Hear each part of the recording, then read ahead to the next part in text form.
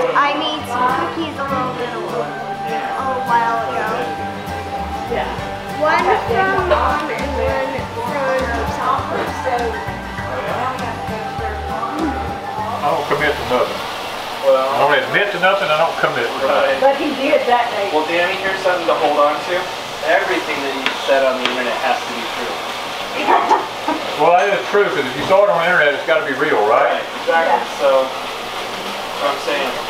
Well, I'll tell y'all what, I'm gonna fix me and Julie a nice stir fry, something that's real healthy to eat here. Y'all can have your cookies and whatever, okay? I love a man who can cook, don't you? I do. I love a man who can cook. Look, I've enjoyed John taking over the kitchen. I enjoyed Danny taking over the kitchen. Right? I don't mind doing dishes if I'm not also doing cooking. Yeah. Which mine, Oh, right. Paige's cookies. Are those hers or yours? These were my cookies, but Paige made them. These are Oh. doves. These are her doves. This is her Santa hat, What? Santa face. The deck, Christmas Easter egg. Oh my. Beautiful. Well, We're gonna make some more. They smell yeah, we need another batch because uh, Paige uh, put Added two cups in, but they weren't one cup cups. They were half cup. half cup cups, and we need so we would have So we needed had a total of one five. cup. And I really two and a didn't half. see the spoon she used, but I know, right? I thought it was a. She worked on it though. She was good to take over because I had to run with Daniel. Daniel, only two Sorry, people call me Danny. Daniel. Sorry, sorry, I Daniel. Actually, Daniel's my real name. I call him Daniel all the time. Okay, well I had Only to run with in Daniel. I had to run with Daniel. Yeah. Sorry, I had to run with Danny over to Daniel, go take my the video. brother. You know, when you're really in That's a song, trouble, when isn't it? Daniel becomes your middle name. Yeah. It is his Robert. See, the only thing I have to worry about Daniel means God will judge. Right? Very So I walk a thin line, you know. Right? I was, I was, I was hexed at birth With the name. with the name. Yeah, mine means the wanderer, that I wander around. Yeah, she's a wanderer. You go in, you can take all that. with the horrible drum. What are we Another cutting? sound began to mix with it. Listen, Uh-oh. Where did you get said those? Farsight.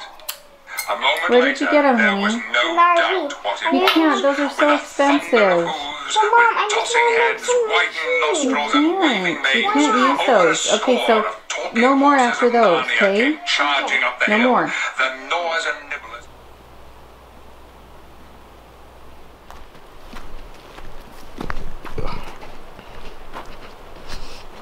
So here's our carrots. Yeah, these are carrots. We have two stages of carrots. These are the young ones. These will be probably coming out in the end of March.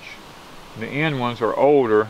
They'll be coming out probably mid-February, Okay. maybe. I'll make it look exciting. Right.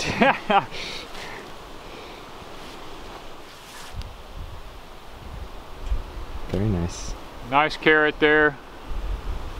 We like to let them go about another month, but this is kind of the stage that they're in. They're good eating at this stage, uh, nevertheless, but, but they make excellent food sources here in the south during the winter time because they're a lot sweeter in the winter down here than they are in the uh, summertime. Okay, these are the strawberry beds that we have. This is the time of the year in the winter that we get these strawberries ready for the spring and what we'll do is we'll actually put plastic over the top of them here shortly Mhm.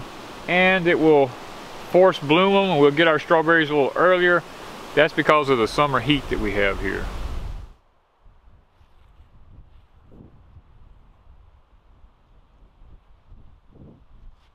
this strawberry bed we build these lids they raise up in their four foot sections we raise that up so that um, we can pick the strawberries and the small chicken wire on the top of it helps keep the birds and other predators from actually eating our strawberries. And this here is our garlic. We raise our garlic in containers here because the uh, this is the hard neck garlic and soft neck garlic. We raise both of them here. It makes it a lot easier for us to be able to uh, to contain them. Yeah. A lot easier. To, you're in a controlled environment. We can water them and weed them and fertilize them like we need.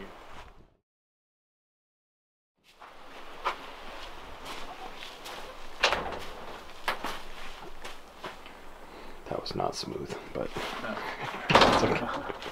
It'll shut itself. Okay, we're in the greenhouse here.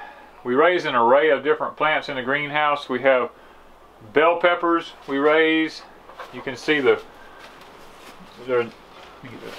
We have good eating size bell peppers here in the greenhouse. We have what this is an Italian red Marconi pepper. We raise those in the greenhouse. And these plants here are going on a third year old. We take them from the greenhouse to the fields every year and just move them back into the greenhouse when the fall comes around. We also have our tomato plants here in the greenhouse. And with these tomato plants, because there are no bees or wasps or anything in here to do any of the pollinating, we have to come along and bump these plants like that to simulate the wind blowing. Some people use an electric toothbrush. Now they do make a tool specifically for doing this. We just do it by hand. We just bump them like that. And because of that process, it goes ahead and pollinates the tomatoes. Then we raise the Bocking 4 comfrey. And what we do is take these comfrey leaves off and we lay them in the pots around these plants. When they dry, we crumble them up because it puts new, good nutrition back into the soil. And we have the moringa trees. Hmm. We keep the moringa trees in the greenhouse. It is a good inflammation fighter if you have arthritis in your body. It's extremely good for that. And the watering system. I'm let me Oh, show you the watering system. Let me show y'all before we get out of there. Let me show you how it's designed to actually work. Now it has the downspout system here that comes off of the roof outside. We get rainwater in this barrel. And this barrel is set up to work a number of ways here. We have a valve here that we can turn this valve off. If we turn that off, I can hook the water hose up to the outside through this one down here. And the water hose from the pump will actually come in and I can water this with a pump if there's not been any rain. Or, if I'm a mind to, I can turn this valve off here. I can open this valve back up. And I can turn the water hose on and fill this barrel up. But what I normally do is like a lot of times we'll come in here, some of these pots may not need a lot of water, we can turn this on. It's under no pressure from nothing other than gravity. And we'll take this water and pour around the individual plants. If this is a, you know, if this is a technique that we plan on using that particular day, or we can come in here, it makes it extremely easy for us to water this. We turn this on.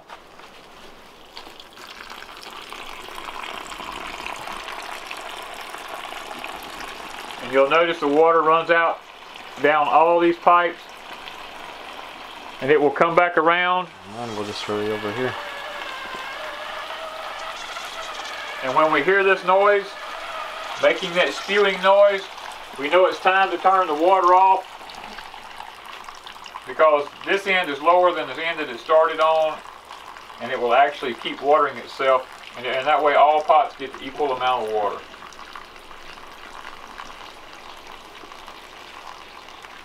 There's no electricity involved in this. This is all done with gravity. Yeah, super neat.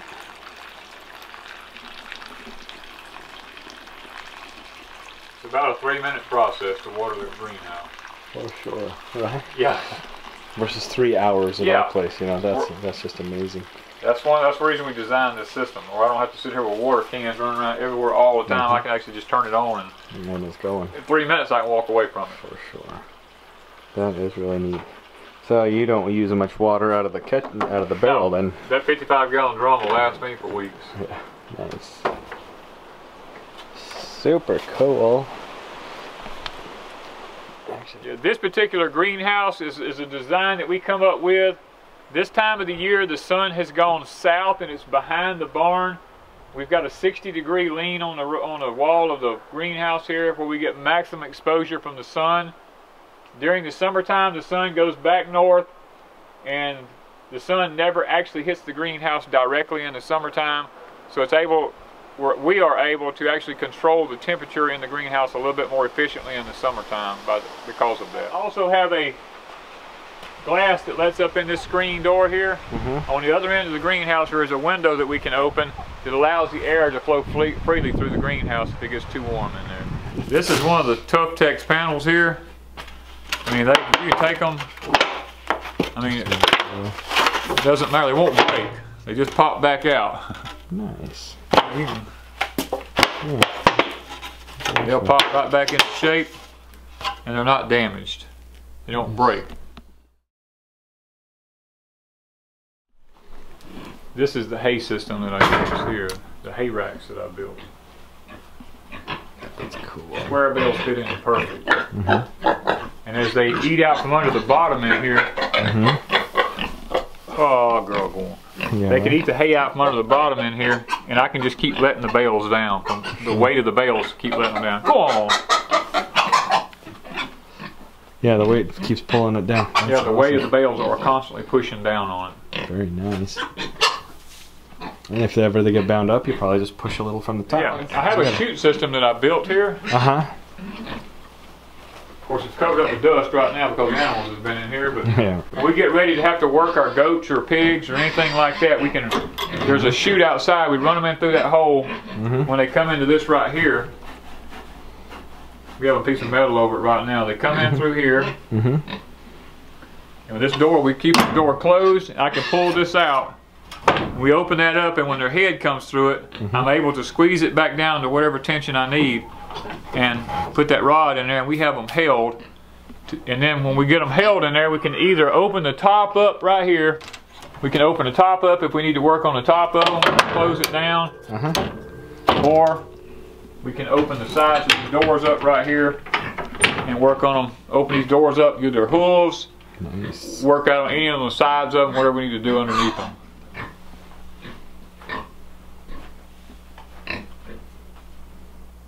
We can unload an animal over yonder out of a trailer.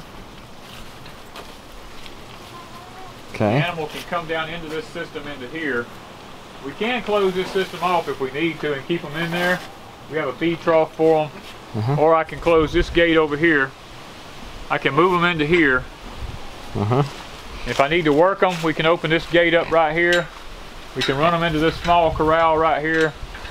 And from this small corral, we can run them into this load, this chute right here, which goes into that chute we just saw in the barn and there where you work them at. So this door opens on this, oh, it opens against this back here and we can run them up in there. And we have a walkway on both sides of it, so if we get them in just the chute, we need to work with them here. We Mhm. can work with them here.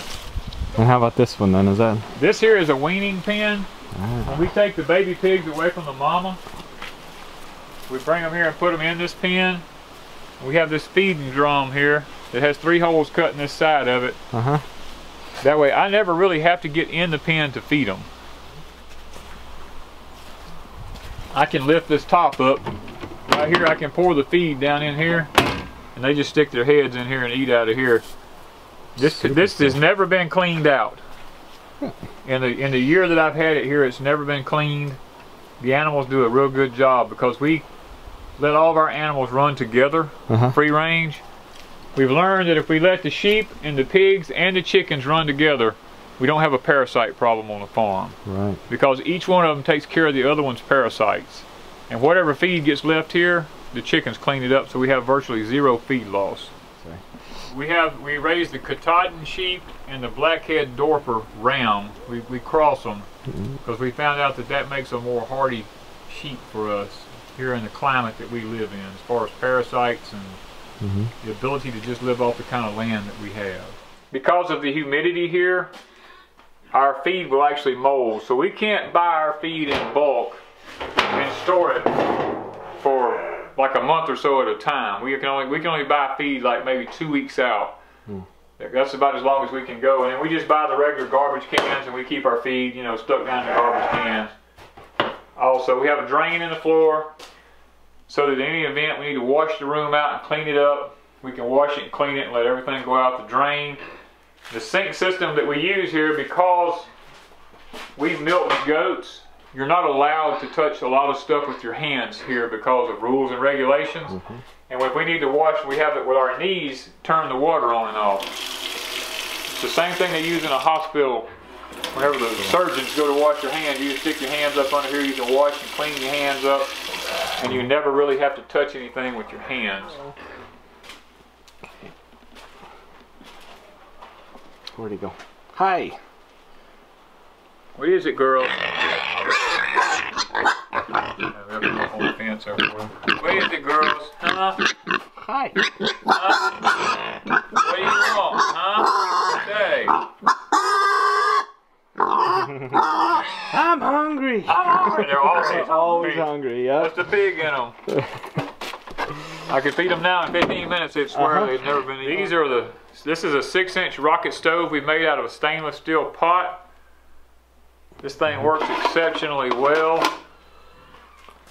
We have the expanded metal that we actually use on top of it. When you go to sit a pot on it, it works real good.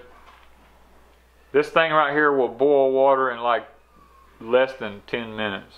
Wow. We have the little plate here. You take this out. You put this in. When you put your wood in here, this allows air to flow underneath it, which creates a vortex going up through here, so that the flame really shoots up hard. Mm-hmm. You basically just burn little sticks out of the yard. You can cook with sticks in the yard. That is cool. Works. I mean, works excellent. So chimney pipe steel pot. Like I said, expanded metal. Looks like some U-bolts. Yep, some U-bolts in this here that's been bent over. Pop rivets, some stainless steel pop rivets, a few screws. Uh, perlite. There's there's about an inch and a half of sand in the Oh, bottom yeah. of it, and the rest of it's perlite in around it. That's cool. That's really neat. So These are standard pieces. This is black stove pipe that you can buy like for a regular six inch stove. Uh huh. This is a black six inch T out of black iron. Mhm. The, the, the whole thing is, I, I can build the whole thing and sell them for about 60 bucks a piece. Let me, tell you what, let me see if this will. That's good. Oh, there you go. All right, this is the four inch um, rocket stove that I've built here. It's basically the same principle as the six inch one. Now this one is probably my favorite one because this one here, I mean, I mean, look at this. You just clean the yard up. I mean, that's all you do. You just go around and clean the yard up. You start your fire in here. This is what you feed into it, and as it burns, you just keep pushing it into it. Same principle as the six inch one. It's got the little shelf in it that goes in it. The air can pass underneath it. Because it's a smaller hole, the flame is really intense coming out right here. Pot of water on there, 10 minutes. It is rolling. Does a fantastic job. It doesn't take as many sticks to run this one as it does to run the 6 inch one. Now, if you was going to be canning, mm-hmm. you would want the 6 inch one because it, it has a larger pipe. It puts more of a volume of, of, of heat underneath a larger pot. But now for cooking breakfast or lunch or dinner or something like that, the 4 inch one is probably your choice. Oh, is that still on? Zero out. Mm-hmm. Okay, zeroed out. Five. Five and a quarter. Happy thoughts? What are we happy? Happy, happy, happy. We're so happy. We are happy that we finally got the last. Right? We're happy that the last butter You see this? in the Were you guys trying to color coordinate with the cabinets today? Yes, that's what I'm looking at. They blend with the cabinets, they blend with each other. Like, I wasn't planning on being on video. we were gonna go hunting later. So. oh, they were going hunting, you're so they gonna got their hunting, hunter's orange on. Yeah, that's what I'm saying. Okay, so you are actually melting the butter to be I mean, you ain't got to do that. I just today. show. I thought I'd just show clips that were amazing.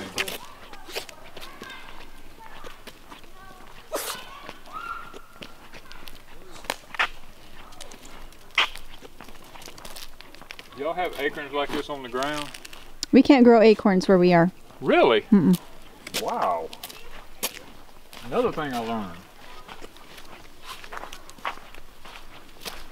I did not know that. Yep, I, I planted some when we first moved to our place. I planted oak trees. Yeah. and um, our our soil is exceptionally alkaline and they will they actually are hardy enough that they stay alive but they it's like they need a stand of oak trees to really do well Right? and when I plant them out singly it's just not good enough wow. I learned something else. so they're tough little little saplings but they've been saplings that are like since six inches tall for five years That is just wow. I assumed oak trees grew everywhere. Okay. Nope. Do I need to say anything? Okay.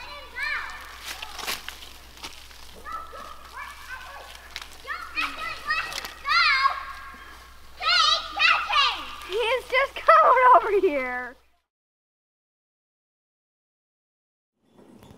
Say hi. So mom is making pancakes for breakfast. You should show them your do rag. You're turning into Danny for sure.